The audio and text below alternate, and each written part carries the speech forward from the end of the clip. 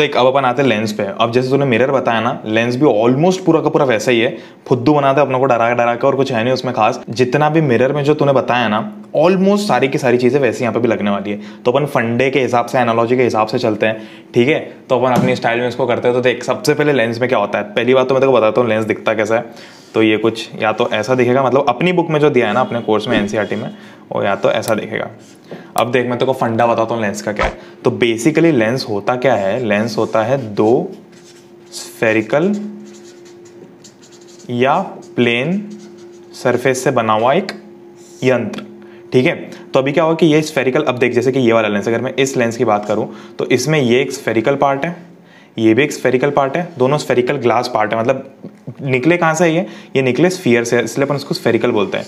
ठीक है, जैसे कि मान ली ये एक स्फीयर था, ऐसा बड़ी सी गेंद थी है तो मैंने इसमें से इसका यहाँ से इस पार्ट को काट लिया। अब ये जो पार्ट है, इसको मैंने यहाँ लगा दिया, और मान लिया कि यहाँ से अगर मैंने इसको काट दिया तो ये वाला जो पार्ट था, इसको मैंने यहाँ लगा दिया। तो बेसिकली हुआ क्या कि स्फेरिकल पार्ट के अंदर से अपन इसको निकाल के लेंस बना रहे हैं। ये जो लेंस है, अब तो अगर थोड़ा सा याद करें जो तूने मिरर बताया है, ऐसा। अब देख मिरर में बेसिकली क्या होता है कि मिरर है तो एक ग्लास का पीस अब वो मिरर कॉनकेव है या कॉन्वेक्स है, वो इस बात से डिसाइड होता है कि हम इसकी कोटिंग इस साइड कर रहे हैं या फिर हम इसकी कोटिंग इस साइड कर रहे हैं। मतलब सेम मिरर पीस को हम अगर अलग अलग साइड कोटिंग करते हैं तो जो मिरर का टाइप है कॉनकेव या कॉन्वेक्स वो अलग अलग बन जाता है। अब लेंस में क्या होता है कि हमको कोटिंग करनी नहीं अब लेंस में क्या हुआ कि अब अब मैं इसको तो थोड़ा क्लियरली इजीली समझाऊं तो लेंस में बेसिकली क्या हुआ कि ये वाला जो पार्ट है, ये वाला जो पार्ट है, दोनों रिफ्लेक्टिंग पार्ट्स है। मतलब ये आर पार देख सकते हैं इसके, ठीक है? अपने को यहाँ से यहाँ तक। ऐसा नहीं है कि यहाँ पे हमने कोटिंग किया तो ये रिफ्लेक्ट होगा। तो बेसिकली यहाँ पर रिफ्लेक्शन यूज़ नहीं होता, यहाँ पर होता है रिफ्रैक्शन रिफ्रैक्शन ये, ठीक है? तो सेम जैसे तूने बताया था रिफ्रैक्शन के बारे में, वैसा यहाँ पर रिफ्रैक्शन यूज़ होता है। तो ये जो पार्ट है, यानी कि ये जो लेंस है, ये हो गया अपना कॉन्वेक्स लेंस अब कॉन्वेक्स लेंस क्यों हुआ? क्योंकि तू उसको ऐसा समझ ले कि भाई कॉन्वेक्स अपना जो मिरर होता है, वो कैसा होता है। उसमें ये जो बाहर का ऐसे जो चम्मच जैसे जो चीज़ होती है, बाहर का जो चम्मच का जो नीचे का पार्ट होता है, वो नीचे वाला चम्मच का पार्ट रिफ्लेक्टिंग होता है। तो ऐसे ही यहाँ पे भी देख, नीचे वाला चम्मच का पार्ट है बाहर की साइड तो इसको तो कॉन्वेक्स लेंस बोले। कॉन्वेक्स और ये जो है, अब ऑब्वियसली कॉन्केव हो जाएगा ये? अब देख, ऐसे टाइप्स तो बहुत सारे होते हैं। मान ले मान ले कि मैंने ये एक कॉन्वेक्स या फिर एक ऐसा पार्ट स्फेरिकल पार्ट लिया और एक प्लेन पार्ट ले लिया। तो ये क्या हो गया? प्लेनो कॉन्वेक्स हो गया, ठीक है? क्योंकि ये वाला पार्ट प्लेन है और ये वाला पार्ट कॉन्वेक्स है। तो ये प्लेनो कॉन्वेक्स हो गया। बट अभी हमको कॉन्वेक्स और कॉन्केव पे ही ध्यान देना है। अब जो कॉन्वेक्स है, इसको हम बाय कॉन्वेक्स भी बोलते हैं, क्योंकि ये इस साइड से भी कॉन्वेक्स है, इस साइड से भी कॉन्वेक्स है। सेम अपन कॉन्केव के साथ में भी बोलते हैं। अब देख लेंस के मैं तो फंडे बताता हूँ पहले कि लेंस में चीज़ें होती क्या है उसके बाद में तो थोड़ी और चीज़ें बताता हूँ। तो बेसिकली लेंस होता, मान लें इस लेंस को लेते हैं। ठीक है? ये कॉन्वेक्स लेंस है थोड़ा है ना सुंदर है दिखने में सुंदर और समझने में भी सुंदर है। तो बेसिकली हम लेंस को बीच में से ऐसे बांट देते हैं दो टुकड़ों में। मतलब बांटते नहीं है समझने के लिए हम बीच में एक लाइन ड्रॉ कर देते हैं क्योंकि अब ऐसे असली में तो, तो लाइन ड्रॉ कर नहीं पाएगा। तो इसलिए हम इसको यहाँ पर ऐसे लाइन ड्रॉ कर देते हैं। अब यहाँ पर ये जो पॉइंट है बीच का इसको हम ओ बोलते हैं। ओ का मतलब हो गया ऑप्टिकल सेंटर अब जैसे मिरर के केस में हम पोल बोलते थे ना, वैसे सेम काम ये ऑप्टिकल सेंटर यहाँ पे करता तो ज़्यादा दिमाग नहीं लगाना है। जहाँ पे हम इसको पोल बोलते थे एक जगह पे, वहाँ पर हम इसको ऑप्टिकल सेंटर बोल देंगे और कुछ भी नहीं है, ठीक है? अब क्या हुआ देख, मैंने तो बोला था ना कि स्फीयर से निकले हुए तो अब ये जो स्फीयर अगर मैं मान लें कि ये वाले पार्ट का स्फीयर कंप्लीट करता हूँ तो ये कुछ ऐसा दिखेगा? मतलब ये जिस स्फीयर से निकला है, अगर मैं स्फीयर को कंप्लीट करूँगा तो ये कुछ ऐसा दिखेगा? और अगर इस वाले को कंप्लीट करूँगा तो ये कुछ ऐसा सा दिखेगा? समझ में आ रहा है? मतलब ये जो स्फीयर है, ये वाला, यानी कि सेकेंड लेंस का और फ़र्स्ट लेंस का लेता है। तो ये वाला जो स्फीयर है, ये हो गया सेकेंड लेंस का, या सेकेंड पार्ट का बोल सकते हैं इसको। और ये वाला जो है, ये हो गया फ़र्स्ट पार्ट का। तो ऐसे में क्या होगा कि ये जो पूरा का पूरा स्फीयर जहाँ से हमने इस लेंस के पार्ट को तोड़ा है, उसका जो सेंटर होता है सी या सी वन बोल लेते हैं, उसको हम बोलते हैं centre of curvature same mirror में भी होता है, ज़्यादा दिमाग नहीं लगाना। और वैसे यहाँ पे क्या हो जाएगा? सी टू हो जाएगा। ज़्यादा दिमाग लगाया, नहीं लगाया। तो अगर मैं एक लाइन जोड़ दूँ इसको तो अगेन ये क्या बन जाएगी याद कर? हाँ वही प्रिंसिपल एक्सिस तो बेसिकली इस लाइन को अगर मैं जोड़ देता हूँ तो एक तरह से तो मान ले कि प्रिंसिपल एक्सिस बन गई। अब देख कॉन्वर्जिंग लाइन्स प्यार को कैसे बढ़ाता है? तो अब कॉन्वर्जिंग लाइन्स में क्या होता है कि जो भी रेज इसके ऊपर आती है ना, इसको हम कॉन्वर्जिंग क्यों बोलते हैं? क्योंकि जो भी रेज इसके ऊपर आती है, ये एक जगह पे कॉन्सेंट्रेट कर देता है। ठीक है? ये एक ही जगह मतलब इतनी सारी जो लाइट आ रही थी ना, यहाँ से जो जितनी भी लाइट आ रही थी दुनिया की, वो उस भाई ने यहाँ पर एक जगह पे कॉन्सेंट्रेट कर दी। इसी के कारण अपन देखते हैं कि जब अपन ऐसे यहाँ पर सूरज रहता है और यहाँ पर हम एक पेपर रख देते हैं तो वो पेपर जल जाता है। वो पेपर नॉर्मल सूरज के अंदर नहीं जलता। जब हम लेंस रखते हैं तो ही क्यों जलता है? क्योंकि ये जो लेंस होता है ना, ये इसकी सारी की सारी लाइट को एक जगह पे कॉन्सेंट्रेट कर देता है पेपर के ऊपर।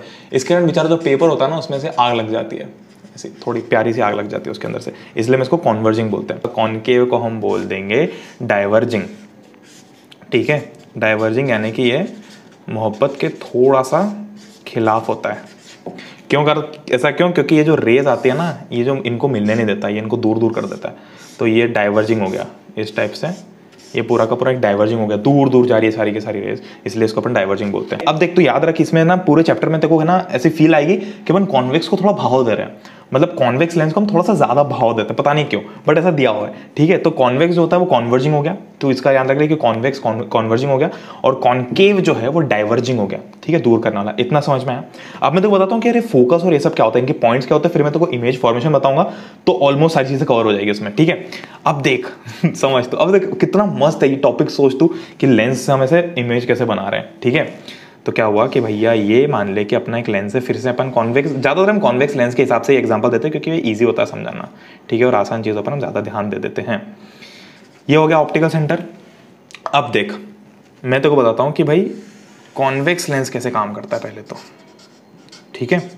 तो बेसिकली इमेज फॉर्मेशन पढ़ने से पहले कॉन्वेक्स और कॉन्केव दोनों के दो फंड है। सिंपल से दो फंड है कि भाई ये लाइट रेस के साथ कैसे खेल रहे हैं। ठीक है? अपने को ये देखना है कि भाई ये टैकल कैसे कर रहे हैं। मेसी या रोनाल्डो दोनों का अलग अलग टाइप होता है खेलने का। वैसे कॉन्वेक्स और कॉन्केव दोनों लाइट के साथ में अलग अलग खेलते हैं। ठीक है? वो फुटबॉल के एक ही फुटबॉल के साथ में अलग अलग टाइप से खेलते हैं। ये जो है, ये एक ही लाइट रेज के मतलब लाइट रेज के हिसाब से अलग अलग टाइप से खेलते हैं। ठीक है? कॉन्वेक्स कैसे खेलता है? देख। कॉन्वेक्स अब तक को याद रखना है, कुछ चीज़ें याद रखनी है। जैसे कि मैंने प्रिंसिपल एक्सेस बताई थी ना तो प्रिंसिपल एक्सेस ये हो गई अपने प्रिंसिपल एक्सेस ठीक है, एक और डायग्राम बना देता हूँ मैं। ठीक है तो प्रिंसिपल एक्सेस बना दी। अब देख, इसमें एक फंडा ये है बेसिकली इमेज कैसे फॉर्म करते हैं, उसके लिए दो रूल्स जनरली फॉलो करते हैं। कि भाई जो रे है, अब देख, वैसे तो है ना तो कंफ्यूज मत होना। बहुत सारे लोग है ना, इसमें कंफ्यूज हो जाते हैं कि क्या ये एक ही रे आ रही है? नहीं। रेज इनफाइनाइट आती है। मतलब ये यहाँ यहाँ यहाँ यहाँ यहाँ सब जगह से रहता है। मतलब जैसे कि अगर मैं तेको थोड़ा चित्र के बताऊँ, जिसके कारण चल बिगड़ जाएगा बट चल मैं थोड़ा सा इधर थोड़ा ड्राइंग करके बताता हूँ कि क्या रेज सिर्फ़ ये आ रही है? नहीं। रेज ऐसी ऐसी ऐसी ऐसी ऐसी ऐसी रेज तो सब जगह से आ रही है भाई। लाइट तो चारों तरफ़ से आ रही है इसके ऊपर। इधर से भी आ रही है, इधर से भी आ रही है, इधर से भी आ रही है, इधर से भी आ रही है। पर चूँकि हम इन सबको बैठने, समझने तो बैठ नहीं सकते, इसलिए हम समझने के लिए दो रेज उठा लेते हैं। इतनी सारी रेज में से हम दो टाइप की रेज उठाते हैं, जिससे हमारा इमेज फॉर्मेशन हमको समझ में आ जाता है। एक वो रे होती है जो कि होती पैरेलल टू प्रिंसिपल एक्सिस ठीक है? ये जो रे मान ले कि ये आर वन है तो आर वन जो है वो पैरेलल टू प्रिंसिपल एक्सिस है। इस केस में क्या होता है? ये याद रख ले, इस बात को गांठ बाँध ले कि ये जब पैरेलल टू प्रिंसिपल एक्सिस होती है तो ये यहाँ पर ऐसे चली जाती है।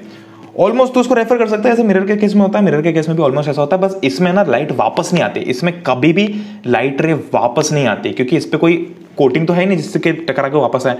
ये तो पूरा का पूरा ट्रांसपेरेंट है इसमें तो चलती जाएगी चलती जाएगी, चलती आएगी तो इसमें रिफ्लेक्शन होगा रिफ्लेक्शन नहीं होगा, मैं बता चुका हूँ पहले भी। कन्फ्यूज़ मत होना। यहाँ पर लाइट आई, ऐसे चली गई, ठीक है? अब तो जो हमको क्या पता चला कि जितनी भी लाइट्स प्रिंसिपल एक्सिस से पैरेलल आती है, वो हमेशा एक ही पॉइंट पर मिलती है। ठीक है? चाहे वो पैरेलल यहाँ से हो रही हो या यहाँ से हो रही हो, वो मिल के यहीं आएगी, ठीक है? अगर मैं इस रे को यहाँ भी मान लूँ, क्योंकि ये भी पैरेलल है, तीनों रेस पैरेलल है प्रिंसिपल एक्सिस के तो ये कहाँ मिलेगी? ये भी यहीं मिलेगी इस पॉइंट पे।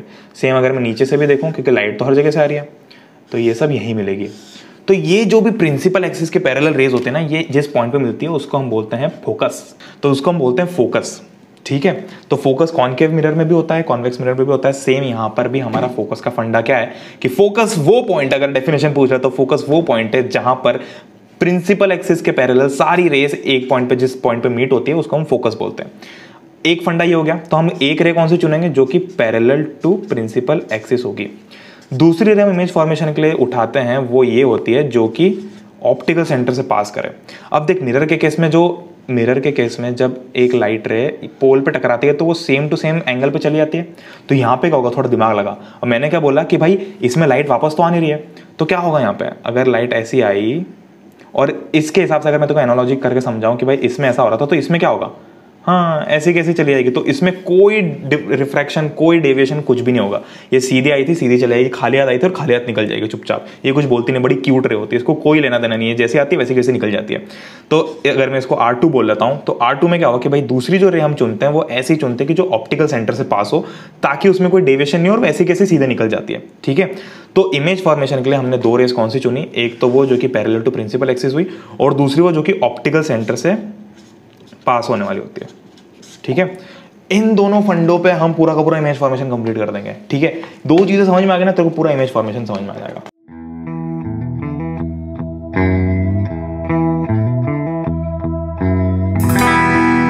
अब देख। अब मैं तेको बताता हूँ कि एक हम बड़ा सा, अब इसमें केसेस होते हैं, बहुत सारे केसेस होते हैं। और सेम चीज़ कॉनकेव के लिए भी काम में आता है। तो पहले मैं तेको कॉन्वेक्स मिरर के केसेस समझाता हूँ। उसके पहले थोड़ा सा और चित्रण कर देता हूँ कि हम क्या करने वाले इमेज फॉर्मेशन में। ठीक है? क्योंकि बहुत इंपॉर्टेंट है। ये है भैया अपने प्रिंसिपल एक्सेस समझ में आया? ठीक है? अब देख। जैसे यहाँ पर ये वाले केस में इस पॉइंट पे लाइट रेस फोकस आई तो इसको हम बोल देते हैं एफ़ वन ठीक है? ये फोकस हो गया। एक तरह से, क्योंकि देख, अगर मैं इस साइड से फेंकता लाइट्स तो ये यहाँ पे कन्वर्ज होती। है क्योंकि दोनों साइड से सेम है, दोनों साइड से बिल्कुल जुड़वा जुड़वा है। तो अगर मैं यहाँ से फेंकता तो इस साइड आया तो इसको हम F2 बोल देते हैं। इसलिए हमने इसको F1 बोल दिया। तो F भी बोल सकता है बट F1 इसलिए बोला क्योंकि भाई दो फोकस होते हैं। एक लेंस के केस में दो फोकस होते हैं। एक ये वाले पार्ट का फोकस और एक ये वाले पार्ट का फोकस तो अब जब ये F1 है तो ये जो ओ एफ़ वन डिस्टेंस है ओ एफ़ वन है, अब अगर मैं यही डिस्टेंस को फिर से यहाँ पर रख दूँ, ये तो अगर मान ले कि ये पूरी की पूरी डिस्टेंस यानी कि जो फोकस तक की डिस्टेंस अगर मान ले एफ़ वन है, ये distance O F one equals to F one O F one यानी कि लाइन की लेंथ क्या है? लेंथ क्या है? एफ़ वन है। तो अगर मैं एक पॉइंट लेता हूँ जो कि टू एफ़ वन पे है तो देख एफ़ वन पॉइंट था। भाई, यहाँ डिस्टेंस यहाँ तक की डिस्टेंस एफ़ वन हुई तो मैंने एक और पॉइंट ले लिया जो कि टू एफ़ वन पे हो गया। सेम मैंने इधर एफ़ टू थी तो इधर मैंने टू एफ़ टू पे ले लिया। ठीक है? समझ में आ गया? अब देख डायग्राम कैसे बनाते हैं, बता देता हूँ देखो, क्योंकि डायग्राम बहुत इंपॉर्टेंट है इसमें। तो हमेशा अपने को लेबलिंग करनी है, ये ओ हो गया। अब मान ले कि मैं ये वाला केस लेता हूँ, जिसमें अपनी प्रिंसिपल एक्सिस से पैरेलल एक लाइटर आ रही है। तो ये यहाँ पे गई। अब प्रिंसिपल एक्सिस के पैरेलल थी तो हमको पता है कि कहाँ पे जाएगी? ये जाएगी F1 पे, ठीक है? अब 2F1 लिखना भी बहुत ज़रूरी है, क्योंकि इमेज फॉर्मेशन में समझ में आएगा कि 2F1 हमने क्यों लिखा है, क्योंकि इसका भी बहुत एक महत्वपूर्ण योगदान होता है। सेम यहाँ पर, अब ये जो डिस्टेंस थी ओ एफ़ वन यही ओ एफ़ टू हो जाएगी, ठीक है? तो ये एफ़ टू हो गया, और ये एक पॉइंट हो गया टू एफ़ टू ठीक है? अब एक चीज़ बहुत इंपॉर्टेंट है कि तुझे एरो मार्क करना बहुत ज़रूरी है कि भाई लाइट कहाँ से आई और कहाँ गई वरना किसी को समझ में कैसे आएगा कि भाई कहाँ से आ रहे हो और कहाँ को जा रहे हो? ऐसे कहीं भी उठ के चल दोगे तो अच्छा थोड़ी लगता है, डांट पड़ती है उससे। इसलिए हम इसको इस टाइप से लेबल करेंगे। तो ये तो को समझ आएगा सेम कॉन्केव लेंस के टाइप में भी करेंगे। अब ये तो फिगर जो है ना, इसको तीन चार बार देख लोगे ना तो बिल्कुल कंठस्थ हो जाएगा, दिमाग में बैठ जाएगा कि अच्छा ये ऐसा ऐसा ऐसा ऐसा है। तो बेसिकली तो याद कर रखना ऑप्टिकल सेंटर याद रखना है ओ एफ़ वन याद रखना है टू एफ़ वन तो अपना पता चल जाएगा एफ़ टू याद रखना है टू एफ़ टू भी पता चल जाएगा। सिंपल सी बात है कॉनकेव मिरर के कॉनकेव लेंस के केस में भी सेम चीज़ हुई, ये हमारा कॉनकेव लेंस है। भैया, ये हो गया हमारा एफ़ वन ये हो गया एफ़ टू सेम यहाँ पे ये हो गया टू एफ़ वन और ये हो गया टू एफ़ टू हमारे लाइटर आ रही है, ये गई डाइवर्ज होके। अब इसमें मैं तो समझाऊँगा आगे चल के कि डाइवर्ज होने का जा कर एक्चुअली आती पीछे की साइड में, मैं तो को आगे समझाता हूँ, इसमें कंफ्यूज मत होना। तो इसमें भी एरो ड्रॉ कर देंगे ऐसे। अब चलो आया था इमेज फॉर्मेशन के ऊपर, ठीक है? सिंपल सी चीज़ है, कोई बहुत बड़ी बात नहीं है। कॉन्वेक्स केस नंबर वन ले लेता हूँ मैं। केस नंबर वन हो गया ना? ये हो गया हमारा कॉन्वेक्स लेंस अब देख केसेस कैसे हैं? मैं तेको बता देता हूँ कि केसेस क्या क्या हो रहे हैं। ठीक है, पहले तो मैं तेको डायग्राम बना देता हूँ। एफ़ एफ़ वन इधर मान ले। किधर ही मान सकते हैं? Two F one F two two F two ये हो गया अपना ओ ये लाइन ड्रॉ करना बहुत ज़रूरी है, वरना तेको पता कैसे लगेगा कि लाइन वो जो रे वो टर्न कैसे हो रही है? यहाँ है तो यहाँ से तेको टर्न करना है, इसलिए ये बीच वाली लाइन भी ड्रॉ कर देना। एक ऑब्जेक्ट उठाया अपन ने, उस ऑब्जेक्ट के साथ ही खेल रहे हैं अपन। तो बेसिकली किया क्या अपन ने कि जो ऑब्जेक्ट है, उसको अपन अलग अलग पोजिशन में रख रहे हैं और ये देख रहे हैं कि भाई अलग अलग पोजिशन पे रखने पर उसकी इमेज कहाँ बन रही है। तो मैं पहली बार तो ऑब्जेक्ट को इसके इधर रखूँगा टू एफ़ वन और इन्फिनिटी मतलब इन्फिनिटी मतलब जहाँ तक भी जाना हो। तो टू एफ़ वन के इधर रखूँगा, एक केस में। एक केस में इन दोनों के बीच में रखूँगा, एक केस में इसके ऊपर रखूँगा, एक केस में इसके ऊपर रखूँगा, एक केस में इन दोनों के बीच में रखूँगा। तो ये सारा झमेला करने के बाद हमको डिसाइड करना है कि भाई इमेज यानी कि जो इमेज है, हर ऑब्जेक्ट की अलग अलग पोजिशन पे इमेज किस पोजिशन पे बन रही है। और जो ऑब्जेक्ट है, वो हम इसके लेफ़्ट साइड में रखेंगे, क्योंकि हमको इमेज को दूसरी साइड ऑब्ज़र्व करना है, ऐसा समझ ले। ठीक है, वरना तो रख तो इस साइड पर रखता है बट वो क्या है कि इस साइड से इस साइड लाना से जमता नहीं है। इधर से इधर लाना मस्त फील आती है। अब देख, पहला केस पहला केस मान ले, पहला केस ये हो कि मैंने तो देख, मैं तो बताता हूँ कि फंडा चलने के सवाल है। फंडा कुछ ऐसे चलेगा कि हम ऑब्जेक्ट को यहाँ से धीरे धीरे धीरे धीरे पास में लेके आएँगे और देखेंगे कि इमेज इसकी कहाँ बनती जा रही है, ठीक है? तो पहले तो हम जब यहाँ से स्टार्ट करते हैं, ठीक है? इस साइड से स्टार्ट करेंगे और इस साइड देख जाएँगे कि इमेज कहाँ पर बन रही है। तो जब मैं इस साइड से स्टार्ट करता हूँ, मान ले कि मैं इन्फिनिटी से स्टार्ट कर रहा हूँ, ठीक है? अब मैं इन्फिनिटी को लेकर तो आ सकता मतलब प्रैक्टिकली पॉसिबल नहीं है। अब इन्फिनिटी का मतलब तो समझ बहुत दूर हो गया। मतलब एक कंसिडरेबल गुड अमाउंट ऐसा नहीं इन्फिनिटी का मतलब कि तू अमेरिका में रख के ऑब्जेक्ट और यहाँ पर इमेज ढूंढ रहा है। एक कंसिडरेबली फेयरली गुड अमाउंट हमने दूर रख दिया तो उसको हम इन्फाइनाइट बोल देते हैं, ठीक है? अब मान ली कि इन्फाइनाइट पे मैंने ऑब्जेक्ट रखा है तो इसकी इमेज कैसे बनेगी? तो धीरे धीरे जब इन्फाइनाइट पे हम चेक करेंगे, फिर इसको हम two F two F one यानी कि वाला जो पार्ट है, ये जो पॉइंट है, इसके थोड़ा सा इधर रख के ट्राई करेंगे ऑब्जेक्ट को। फिर हम टू एफ़ वन के ऊपर ऑब्जेक्ट रखेंगे, फिर हम इन दोनों के बीच में ऑब्जेक्ट रखेंगे, फिर हम इन दोनों के बीच में ऑब्जेक्ट रखेंगे, ऐसे हम ऑब्जेक्ट को धीरे धीरे इधर लाते हैं। पहले हम इन्फिनिटी के केस में देखते हैं। अब देख इन्फिनिटी के केस में क्या होगा कि ये जो सारी की सारी रेज हैं, ये सारी की सारी आ रही है पैरेलल टू प्रिंसिपल एक्सिस अब ऑल दो जैसे मैंने तो बताया कि रेस तो बहुत सारी आ रही है बट हम समझने के लिए केवल वही रेस लेते हैं जिससे हमको इमेज मिल जाए इजीली ठीक है? सारी की सारी पैरेलल टू प्रिंसिपल एक्सिस आ रही है तो ये कहाँ मिलेगी? ये सारी यहाँ मिल जाएगी। यहाँ मिल जाएगी। ठीक है? तो अब क्या हुआ कि ये जो, अब मैं तेको अगर कंपेरिजन करना हर केस में तेको कंपेयर करके बताता हूँ।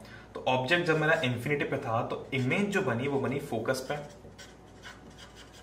फोकस पे। दूसरी चीज़ दूसरी चीज़ क्या हुई कि देख, जो ऑब्जेक्ट की साइज़ थी, अब तो इधर इमेज की साइज़ देखेंगे तो बेसिकली इमेज की साइज़ को कैसे कंपेयर करते हैं?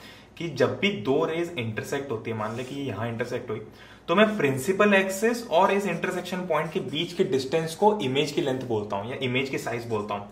इस केस में भाई ये इमेज तो बिल्कुल एफ़ टू पे बनी है। तो इसका मतलब ये जो डिस्टेंस होनी थी, ये तो बिल्कुल यहीं पे हो गई। ठीक है? ये डिस्टेंस तो रही नहीं, बस थोड़ा सा पॉइंट हो गया। तो इस केस में एक पॉइंट साइज़ ऑब्जेक्ट बनता है। इसको पॉइंट साइज़ भी बोल सकते हैं, या फिर हाईली डिमिनिश भी बोल सकते हैं। ठीक है? हाईली डिमिनिश थोड़ा फैंसी वर्ड है। हाईली डिमिनिश अब डिमिनिश्ड ये थोड़ा फैंसी वर्ड है। तो बेसिकली हाईली डिमिनिश का मतलब बहुत ही छोटा हो गया, ठीक है? जो इमेज जो ऑब्जेक्ट था वो ऐसा था, और जो इमेज बनी वो बहुत ही छोटी बनी तो ये ऐसा हो गया। तीसरी केस है कि भाई ये रियल बनेगी। रियल इमेज मतलब हमेशा जब भी, जो भी इमेज इस साइड बनती है ना लेंस के राइट साइड में बनती है, मान लिया ऑब्जेक्ट को है ना, एक कंसिडरेबली हम हमेशा ऐसा रेफर करते हैं कि ऑब्जेक्ट हमने लेफ़्ट साइड लिया और इमेज अपनी राइट साइड बन रही है। तो जब भी इमेज इस लेंस के राइट साइड बन रही है, उसको हम रियल इमेज बोलते हैं। और ये होती है इन्वर्टेड इन्वर्ट का मतलब ये है कि भैया ये सीधा है, ये उल्टा है तो ये इन्वर्टेड है। ठीक है? अगर ये ऑब्जेक्ट है, ये इमेज है तो ये इन्वर्टेड इमेज होगी क्योंकि ऐसे उल्टी है। ठीक है? और रियल का मतलब वही कि हम इसको स्क्रीन पे ऑप्टेन कर सकते हैं। तो हवा में तो देख नहीं सकता कि भाई ये रेस कहाँ हो रही है। ऐसा हवा में तो दिखेगा नहीं तुझे। तो यहाँ पर देखो बेसिकली अब प्रैक्टिकली देखो, यहाँ पर एक स्क्रीन लानी पड़ेगी। वो स्क्रीन पर्दा हो सकता है या फिर कुछ भी हो सकता है। वो तो यहाँ पर लानी पड़ेगी और वहाँ पर तो इस इमेज को ऑप्टेन कर पाएगा। ठीक है? और जैसे मैंने तो बोला कि हम धीरे धीरे पास आता जा रहे हैं तो दूसरा केस क्या होगा बता? दूसरा केस ये हो जाएगा कि भैया, पहले तो हमने क्या किया था? इन्फिनिटी पे ली थी। अब हम क्या करेंगे? अब हम ऑब्जेक्ट को टू एफ़ वन के थोड़ा सा इधर लेंगे। मतलब इसको हम बियॉन्ड टू एफ़ वन बोल सकते हैं, ठीक है? तो ये दूसरा केस हो गया बियॉन्ड टू एफ़ वन इस केस में क्या होगा ध्यान से देख पहले इसको थोड़ा सा ड्रॉ कर देता हूँ। इस केस में ऐसा होगा कि मैंने ये भैया प्रिंसिपल एक्सेस से जा रही थी तो कहाँ से जाएगी? फोकस से जाएगी। दूसरी हमारी आ रही थी ऑप्टिकल सेंटर से तो ए ऐसी कैसे चुपचाप निकल जाएगी, बिना कुछ बोले। ठीक है? तो इस केस में तो गैस कर क्या हो सकता है? अब मैं तो वैसे ज़्यादा गैस वर्क दूँगा नहीं बट बेसिकली होगा क्या कि दोनों जो रेज है वो कुछ इस पॉइंट पे मीट करेगी, ठीक है? ये जो पॉइंट है, अब ये देख, इस पॉइंट पे मीट करी रेज तो इस पॉइंट पे मीट करी और प्रिंसिपल एक्सेस से मैंने इसको जोड़ दिया तो ये हमारी इमेज बन गई। अब देख, यहाँ पर तेको क्या दिख रहा है कि ये जो इमेज है, ये F2 और 2F2 के बीच बनी तो इस केस में जब हम ऑब्जेक्ट को बियॉन्ड टू एफ़ वन रखते हैं तो इमेज हमेशा एफ़ टू और टू एफ़ टू के बीच में बनती है। अब अगर साइज़ की बात करें तो देख two F one two F two अब टू एफ़ टू के अंदर है और ये जो इमेज जो ऑब्जेक्ट था, ये टू एफ़ वन के बाहर था तो इस ऑब्जेक्ट की साइज़ बड़ी थी और यहाँ पर अगर तो इमेज की साइज़ देखेगा तो इमेज की साइज़ छोटी ऑल दो यहाँ पे फिगर है मैंने थोड़ा अच्छे से ऐसा बताया नहीं बट हाँ टू एफ़ टू की जो साइज़ है, यानी कि इस जो, यानी कि जो इमेज की साइज़ है, वो छोटी होगी। तो ये क्या हो जाएगा कि एक डिमिनिश्ड इमेज है। डिमिनिश्ड इमेज है या फिर छोटी इमेज है smaller than object smaller than object अब देख, दो चीज़ें तो हमेशा केवल एक ही केस में ये चीज़ चेंज होती है, मैं तो आगे चल बताऊँगा बट बाकी सारे केसेस में कॉन्वेक्स लेंस के केस में इमेज जो है वो रियल और इन्वर्टेड रहती है। अब देख, दूसरा केस होता है। दूसरा केस ये होता है कि मैंने तो क्या होता है कि धीरे धीरे हम ऑब्जेक्ट को पास लाते आ रहे हैं। अब तो एक है ना, बहुत ही मस्त पैटर्न ऑब्ज़र्व करेगा इसमें। तो हुआ ऐसा कुछ कि ये ओ है, ये F one two F one, F two two F two. अब दूसरा केस क्या हुआ कि भाई एक तो था बियॉन्ड टू एफ़ वन अब मैं क्या करता हूँ, अब मैं ऑब्जेक्ट को यहाँ बिठा देता हूँ टू एफ़ वन के ऊपर ही बिठा देता हूँ। अब देखते कि क्या होता है। तो अब जब मैं मान ले एक रे हमने ये ले ली पैरेलल टू प्रिंसिपल एक्सेस तो हम ये ऑब्ज़र्व करेंगे कि भाई ये जो रे है, ये फोकस से पास होएगी हमेशा। ठीक है, ऐसे निकल जाएगी। दूसरा, मैं ऑप्टिकल सेंटर से पास होने वाली एक रे ले लूँगा, जो कि बिना डेविएट हुए निकल जाएगी। ऐसी कैसी अब जब तो इसको ऑब्ज़र्व करेगा कि ये दोनों जो रेज है, वो कहाँ मीट हुई तो ये इस पॉइंट पे मीट हुई और ये पॉइंट कहाँ है? टू एफ़ टू वाला। तो ये जो इमेज हो गई, ये यहाँ बन गई, ठीक है? तो अब जो ऑब्जेक्ट था और जो इमेज थी तो जब ऑब्जेक्ट को हमने टू एफ़ वन पे रखा तो इमेज भी अपनी टू एफ़ टू पे बनेगी, ठीक है? जब मैं ऑब्जेक्ट को यहाँ पे रखूँगा तो इमेज भी यहाँ पे ही बनेगी। टू एफ़ वन पे रखा तो टू एफ़ टू पे बन गई। साइज़ की अगर मैं बात करूँ तो साइज़ दोनों का इक्वल है। देख ध्यान से देख, दोनों का साइज़ इक्वल है क्योंकि दोनों सेम डिस्टेंस बनी हुई है। तो इक्वल साइज़ के तो ना तो ये मैग्नीफाई हुई, ना तो ये डिमिनिश हुई। रियल है, ठीक है, क्योंकि इसको स्क्रीन पे ऑप्टन करेंगे हाँ में तो दिखेगी नहीं। और इन्वर्टेड है, ठीक है, उल्टी भी है, ये ऐसी सीधी थी उल्टी हो गई, ठीक है। ये हो गया टू एफ़ वन पर रखना केस अब देख मैंने बताया कि हम धीरे धीरे ना इसको ऐसे पास लाते आएँगे ऑब्जेक्ट को। पहले हमने यहाँ रखा बियॉन्ड टू एफ़ हमने टू एफ़ वन पर रखा, अब कहाँ रखेंगे? गेस कर हाँ। तो बेसिकली जो पॉइंट्स है ना, इनके इनके साथ ही खेलना है हमको, ठीक है? तो अब हम एक पॉइंट लेंगे बीच में, कहीं भी ले सकते हैं टू एफ़ वन और एफ़ वन के बीच में। अब मान लें कि जब मेरा ऑब्जेक्ट यहाँ पे है टू एफ़ वन और एफ़ वन के बीच में, अब हमको एग्जामिन करना है कि इमेज कहाँ बनने वाली है। तो अगेन मैं वही प्रिंसिपल एक्सेस से पास होने वाली एक रे ले लूँगा, जो कि एफ़ टू के पास जाएगी। अब ऑल दो तो स्केल से बनाएगा ना डायग्राम तो काफ़ी अच्छे बनेंगे। तो अब देख टू एफ़ वन और एफ़ वन के बीच में जो ऑब्जेक्ट है तो इमेज कहाँ बनेगी? एक तो मैंने वाली ले ली। दूसरी मैं ले लूँगा ऑप्टिकल सेंटर से पास होते हुए। तो भैया हम ये ऑब्ज़र्व करेंगे, यहाँ पे मीट हुई, ये पॉइंट हो गया। तो हम ये ऑब्ज़र्व करेंगे कि ये जो इमेज है, ये बनी बियॉन्ड टू एफ़ ठीक है? इसको टू एफ़ भी लिख सकते हैं टू एफ़ टू भी लिख सकते हैं। बट जनरली हमें ना इसको सिंप्लीफाई करने के लिए टू एफ़ भी लिख सकते हैं। बट अभी हमको, क्योंकि हम दोनों साइड ले रहे हैं, इसलिए हम टू एफ़ टू लिखते हैं। तो ये ऑब्जेक्ट इमेज ऑब्जेक्ट क्या हालत है? ये टू एफ़ वन और एफ़ वन के बीच में था। इमेज कहाँ बनी? Beyond two F two same अब मैं अगर साइज़ की बात करूँ तो ऑब्जेक्ट के साइज़ अगर मैं साइज़ की बात करूँ तो इमेज का जो साइज़ है तो देख, यहाँ पर ये है, अब जैसे जैसे लाइट रे नीचे जा रही है, वैसे वैसे ये बड़ा होता जा रहा है। तो जब भी टू एफ़ वन और एफ़ वन के बीच में होगा, और इमेज जो है, जितनी इमेज दूर बनती जाएगी ना, उतनी इमेज एक तरह से मान लें कि तो बड़ी होती जाएगी। अब देख टू एफ़ वन और एफ़ वन अब देख, ये डिस्टेंस तो दोनों बराबर है टू एफ़ वन और एफ़ वन के डिस्टेंस बराबर है, इन दोनों के डिस्टेंस बराबर है। तो अब जब इमेज यहाँ पर बनी जब ये इमेज इसके पार बनी इसका मतलब ऑब्वियसली यही हुआ कि ये जो इमेज है ये बड़ी है इससे क्योंकि ये इस डिस्टेंस के बाहर बनी है। तो इसका मतलब जो इमेज है वो हो गई एनलार्ज ठीक है सिंपल है। अब धीरे धीरे जब तो केसेस को वापस से देखे ना तो, तो और समझ आएगा। एनलार्ज हो गई। रियल है इन्वर्टर है। ठीक है ये चीज़ें याद रखना ये नेचर ऑफ़ इमेजेस में पूछते हैं और जब न्यूमेरिकल सॉल्व करते हैं ना तो भी ये चीज़ें बहुत काम आती है। तीसरा केस गैस कर क्या हो सकता है? इन्फिनिटी पे लिया फिर यहाँ पे लिया फिर यहाँ पे लिया टू एफ़ वन पे फिर इन दोनों के बीच में लिया। अब हम कहाँ रखेंगे? अब हम फोकस पे रख देंगे। तो जो हम फोकस पे रखते हैं तो अब मान लें कि मैंने वही चीज़ अपनाई, मैंने इसको एक रे को यहाँ कर दिया, दूसरे रे को मैंने ऑप्टिकल सेंटर से पास होने दिया। अब देख, यहाँ पर है ना एक बहुत ही खूबसूरत सी चीज़ हुई।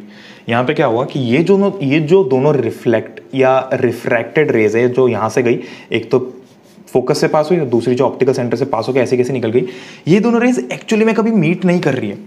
इसको हम ना पैरेलल रेज बोल सकते हैं। ऑल दो पैरेलल नहीं है पर ये जो है ना, इसे बहुत दूर जाके मीट करने वाले। तो इससे का क्या होगा कि ये जो लाइट रेस है, आप जब पैरेलल लाइट रेस है तो बहुत दूर जाके मिलेगी। मतलब ये यहाँ पे नहीं मिलेगी, ये बहुत दूर जाके कहीं कोने में ऐसे ऐसे ऐसे करके यहाँ पे कहीं बहुत दूर मिलेगी। तो इससे होगा क्या कि जब ये बहुत दूर मिलेगी तो ये मिरर से बहुत दूर हो गई। इसका मतलब ये है कि जो इमेज है, जब ये बहुत नीचे ऐसे दूर बनेगी तो इसका मतलब ये होगा कि जो इमेज है, वो बहुत ज़्यादा हाईली मैग्नीफाइड है। ठीक है तो अगर मैं तेरे को ऑब्जेक्ट और इमेज का थोड़ा सा बताऊँ तो ये जो इमेज रहेगी, ये बहुत ही हाईली मैग्नीफाइड रहेगी। ठीक है? बहुत ज़ोर से इसको ऐसे मैग्नीफिकेशन ग्लास से देखते ना, उस टाइप से बहुत ज़्यादा हाईली मैग्नीफाइड रहेगी। दूसरी बात है कि वो ही रहेगी किसी भी बात है रियल इन्वर्टेड रहेगी। ठीक है?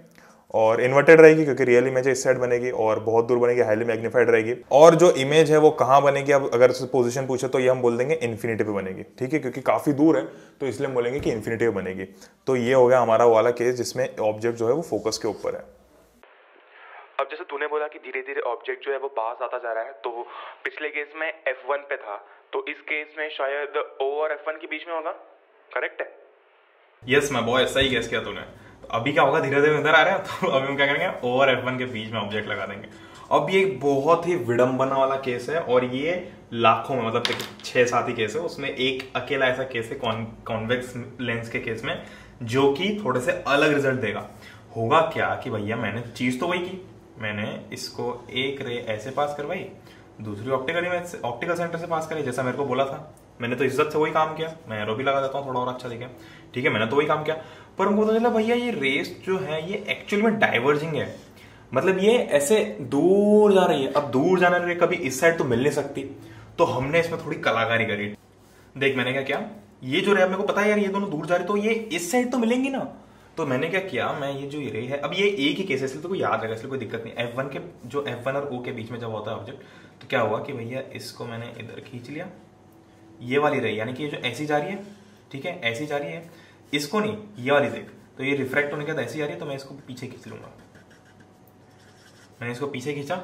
अब क्या हुआ? पीछे खींचने के बाद ये जो यहाँ पे पॉइंट पे दोनों इंटरसेक्ट हुई, दोनों रेज तो ये अपना ऑब्जेक्ट बन गया। अब इस केस में देखिए ऑब्जेक्ट भी ऊपर की साइड बन रहा है।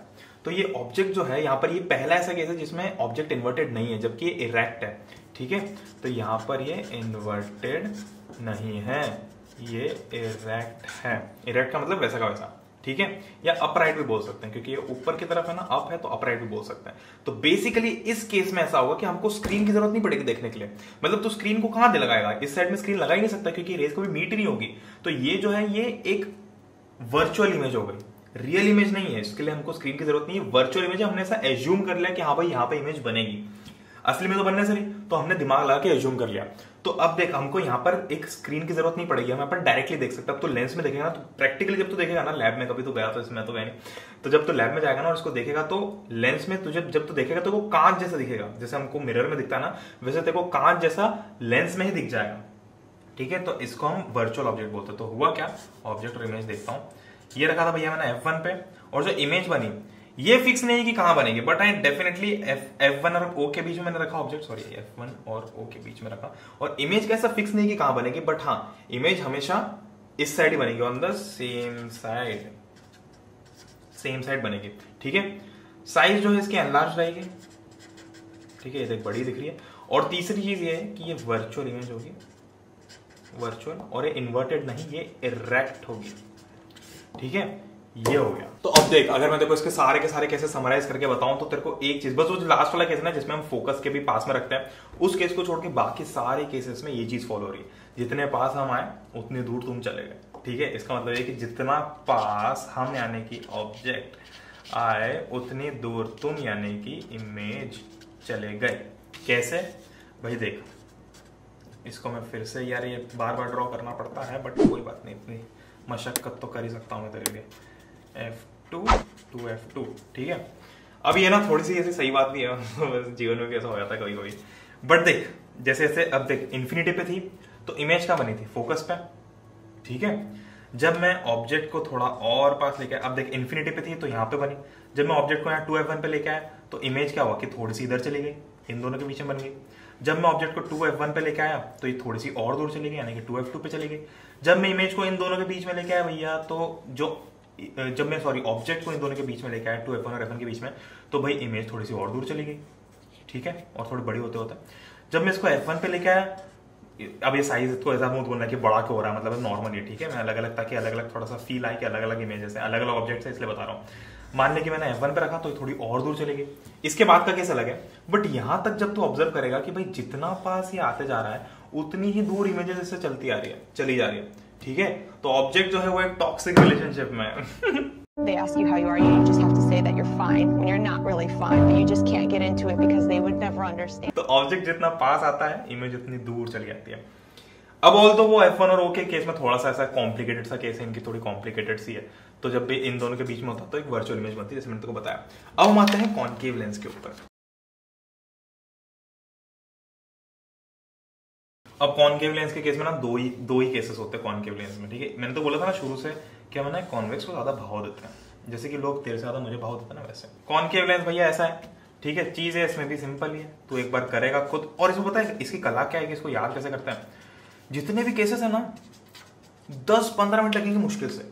लिख ले। एक बार ना केसेस लिख ले इमेज ऑब्जेक्ट की टेबल बना ले। तेरे को इतना सही याद होगा कि तेरे को कभी याद नहीं होगा। और ये जो फॉर्मूला था ना, ये जो मैंने बनाया था कि जितने पास हम आ गए, उतनी दूर तुम चले गए, ये भी याद रख लेना। पर कॉन्वेक्स के केस में हाँ क्योंकि कॉन्केव को हम इतना भाव नहीं देंगे, दो ही केसेस में। एक केस क्या हुआ कि भैया जो ऑब्जेक्ट था वो इन्फिनिटी पे था। इन्फिनिटी पे था। तो पिछले केस में क्या होता है इन्फिनिटी पे था तो? यही हुआ था कि जो इमेजेस हैं, ये जो जो भी इसकी जो रेस है, वो कॉन्वर्ज हो रही थी फोकस पे। बट ये कॉनकेव है। कॉनकेव में क्या होता है? डाइवर्ज होता है। इसका मतलब क्या हुआ कि ये ऐसी डाइवर्ज हो गई। ठीक है? मैंने तो बताया था ना, ये प्यार कम कराने वाला है थोड़ा सा। तो यहाँ पर मोहब्बत कम कराते हुए रेस को उधर डाइवर्स कर दिया इसने। पर इमेज कैसे मिलेगी अब? अब देख इमेज का फंडा हम वही लगाएँगे जो कि हमने कॉन्वेक्स लेंस के केस में तब लगा था जब ऑब्जेक्ट हमारा फोकस और ओ के बीच में था, इन दोनों के बीच में था। यहाँ पर हम क्या लगाएँगे फंडा? यहाँ पर हम इन रेस को पीछे की तरफ़ खींच देंगे। ठीक है? पीछे की तरफ़ खींच देंगे। तो एक बहुत ही खूबसूरत सी चीज़ मिलेगी तेरे को। वो क्या मिलेगी, वो ये मिलेगी कि ये दोनों जो रेस थी, जो पैरेलल टू प्रिंसिपल एक्सेस वाला जो फंडा था, वो यहाँ भी काम कर गया। बट ऑल वो इस साइड काम नहीं किया, वो इस साइड काम किया। ठीक है? तो जब भी rays parallel to principal axis आ रही थी तो ये चली तो इधर गई। मतलब प्रैक्टिकली तो इधर गई है एक्चुअल में। ठीक है? ये हो गया रियल रियली ये इधर चली गई। इस साइड तो हम इसको खींच के लाए। खींच के लाए मतलब ऐसा नहीं कि हमने इसको पकड़ खींच लिया, हम ऐसा समझ रहे हैं। अब अपेरेंटली ऐसा लग रहा है कि ये इस फोकस पे है। ठीक है अपेरेंटली मतलब ऐसा दिख, ऐसा लग रहा है हमको बट जो हमेशा हमको लगता है वो होता नहीं तो इस केस में भी रियल जो है रियल केस में ये इमेजेस जो रेज है, वो तो डाइवर्ज हो गए बट हम इसको पीछे की तरफ़ खींच लेते हैं। तो उससे क्या होता है कि it appears to converge at F one ठीक है? कॉन्वेक्स के केस में वो एफ़ वन पे कॉन्वर्ज हो रही थी, पर कॉन्केव के लेंस में वो F1 सॉरी F2 था इस इस साइड में। पर कॉन्केव लेंस में F1 पे ऐसा अपियर हो रहा है कि यहाँ पर कॉन्वर्ज हो रही है। ठीक है? अपियर हो रहा है। इसका मतलब क्या हुआ? थोड़ा सा दिमाग लगा जब वो एक्चुअली मीट हो रही थी तो हम उसको रियल इमेज बुला रहे थे। और कॉन्वेक्स के लेंस में जब हमने इसको यहाँ पे रखा तो हम उसको वर्चुअल इमेज बना रहे थे, क्योंकि हम उसको वर्चुअली ऐसा एज्यूम कर रहे थे। तो हमेशा कॉन्केव लेंस के केस में कॉन्केव लेंस के केस में हमेशा वर्चुअल इमेज बनेगी। ये कभी बेचारा रियल बना ही नहीं सकता। हमेशा वर्चुअल इमेज बनेगी। ठीक है? अब मैं देखो इस केस की बात समझाऊं तो जब ऑब्जेक्ट इन्फिनिटी पे था तो इमेज कहाँ बन गई इस टाइप से? एफ़ पे बन गई।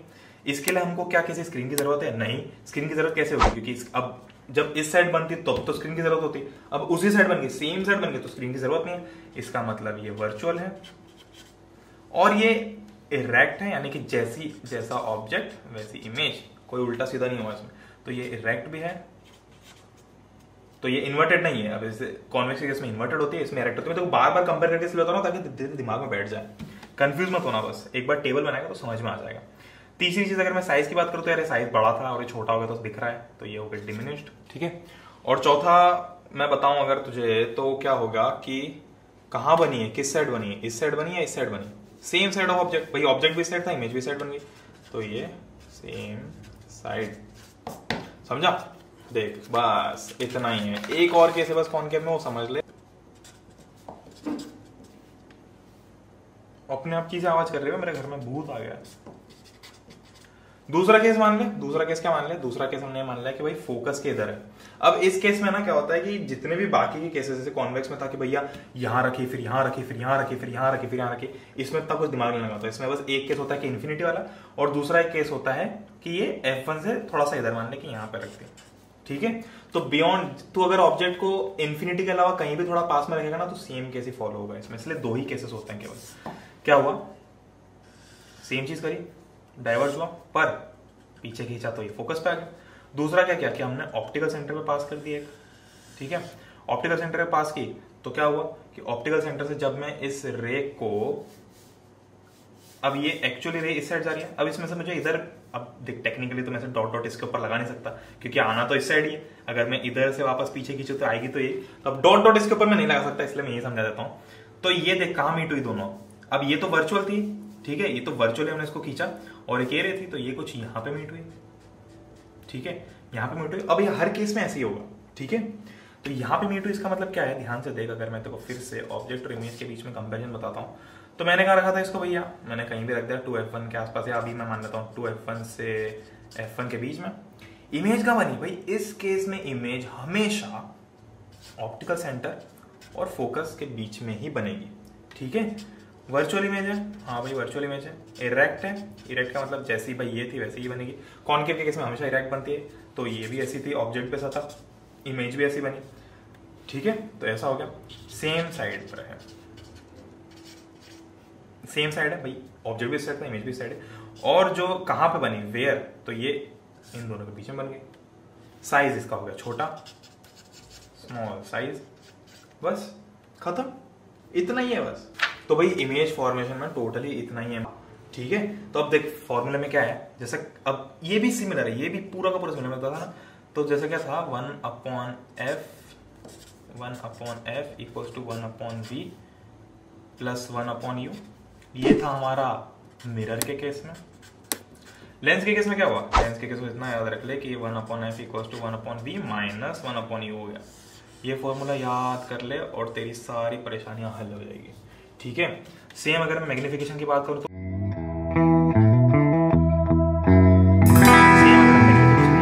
तो लेंस के केस में क्या होगा? लेंस के केस में भी सेम रहेगा, बस ये जो माइनस की साइन थी, ये हट जाएगी। ठीक है?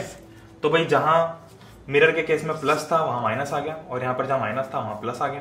ठीक है, यहाँ पर कोई साइन नहीं। तो प्लस हो गया। तो ये दोनों जो फॉर्मूला है, बस यही है जो कि है इस जीवन में। यही है। अब इसको तो है ना equals to V upon U भी ले सकता है। ये भी एक चीज़ है जो कि याद रखने वी क्या था? वी अपनी थी। अब वी इस वी और यू क्या है? सेम वही है।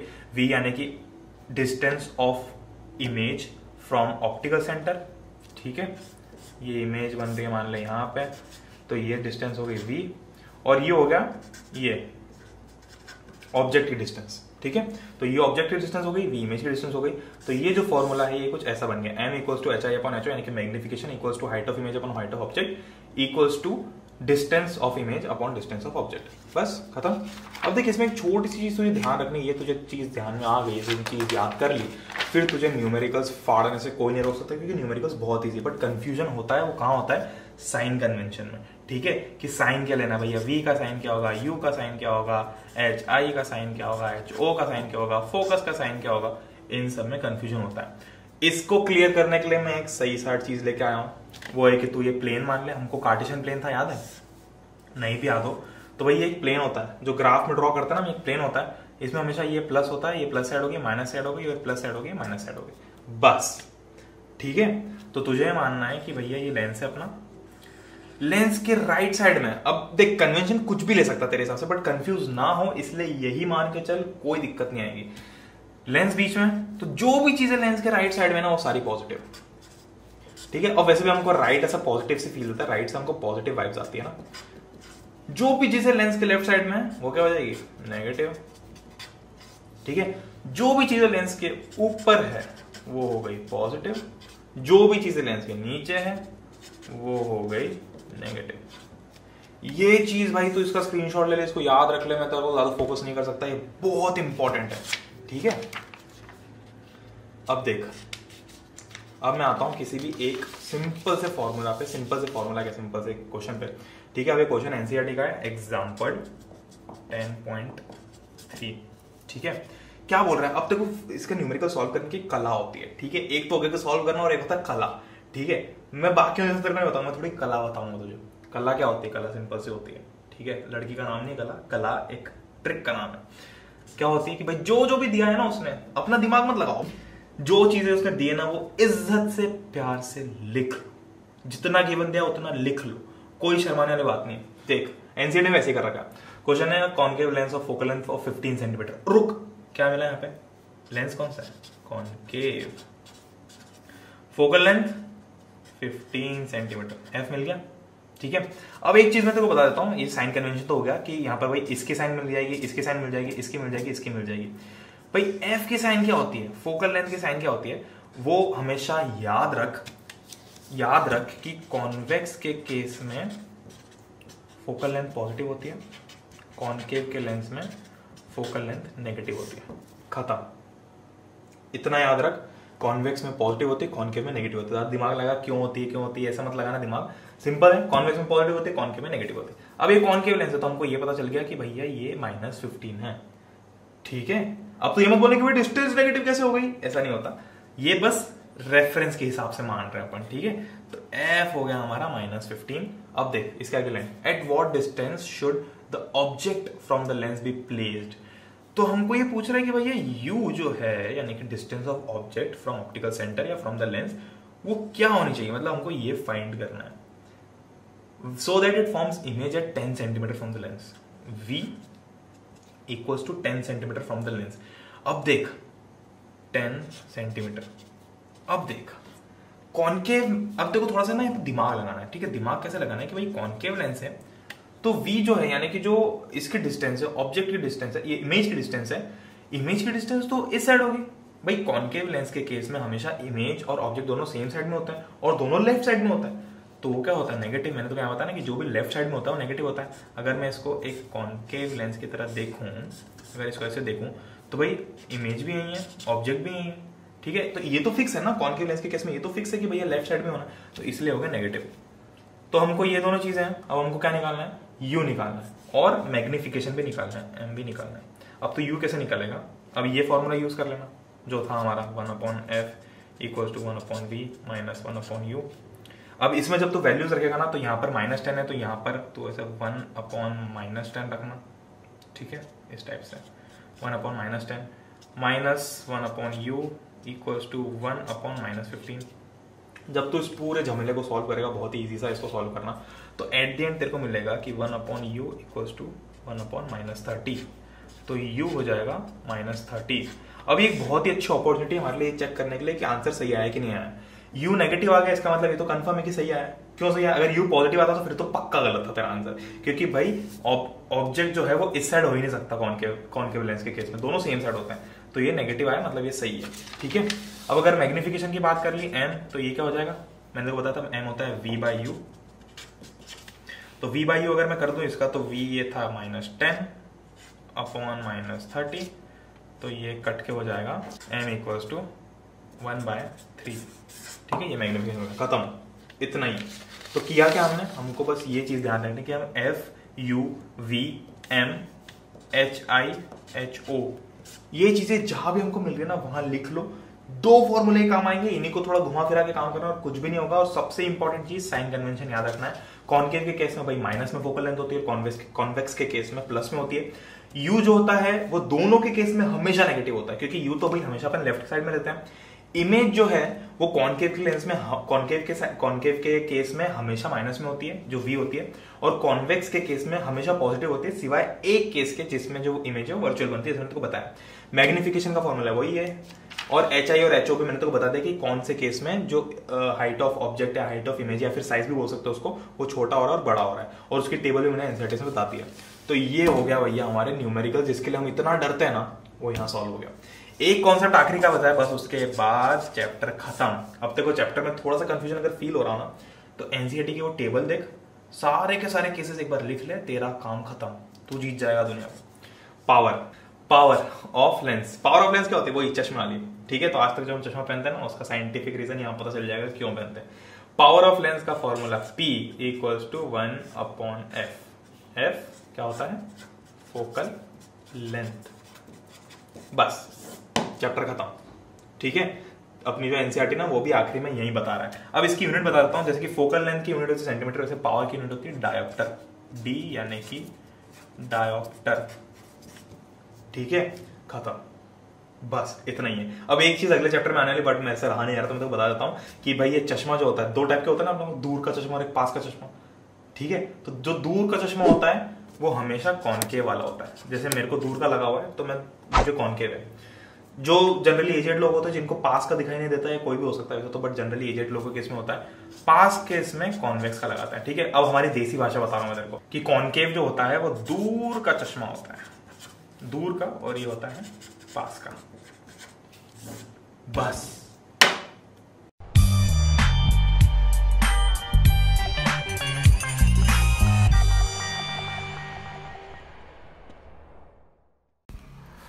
हेलो गाइज़ आई होप कि आप सभी लोगों को ये वीडियो पसंद आया होगा।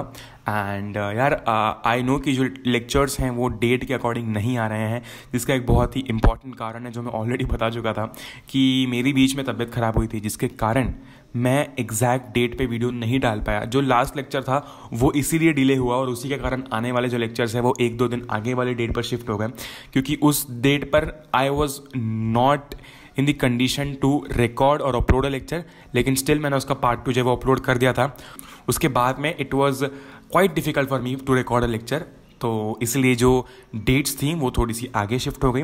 राइट ज़्यादा डिले नहीं हुआ है मुश्किल से दो दिन का या मैक्स टू मैक्स दो से ढाई से तीन दिन का डिले होगा ज़्यादा नहीं होगा। बट uh, मैं ट्राई करूँगा कि इस मंथ के एंड तक जो हमारा ह्यूमन आय तक का पोर्शन है वो कंप्लीट कर दूँ। क्योंकि उसके बाद मैं काफ़ी ज़्यादा पेस पकड़ने वाला हूँ तो बहुत सारी चीज़ें और भी आने वाली हैं। इसलिए ज़्यादा डिले मैं नहीं करूँगा लेकिन ऑफकोर्स लेक्चर्स आएँगे तो प्रॉपर आएँगे। मैं ये नहीं चाहता कि यार मैं आ, कुछ भी मतलब जल्दी डालने के चक्कर में कुछ भी डाल दूँ क्योंकि I review the video two to three times अगर मुझे लगता है कहीं पर भी गलती है तो मैं उसको या तो री रिकॉर्ड करता हूँ या फिर उस पार्ट के लिए थोड़ा सा वेट करता हूँ, क्योंकि I don't want to post something that does not have quality और जिसमें कॉन्टेंट की कमी हो, लेकिन आई ट्राई की जो वीडियो मैं अपलोड कर रहा हूँ, उसका कॉन्टेंट काफ़ी अच्छा हो ओके एंड आई होप कि आप सभी लोग सेफ़ हैं। बस, Jai Hind, Vande Mataram will meet in the next one till then goodbye and take care